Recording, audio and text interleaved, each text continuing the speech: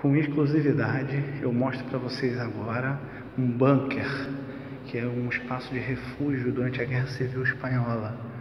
Na década de 30 do século passado, os nazifascistas bombardeavam a cidade de Gerona, aqui no início dos Pirineus, quase na fronteira com a França, e aqui se refugiavam os habitantes da cidade. Vocês podem observar, isso aqui é um bunker, construído exatamente para lugar de refúgio.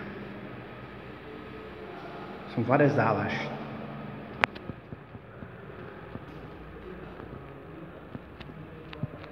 Observe que interessante, muito bacana. Exclusivo, meus amigos.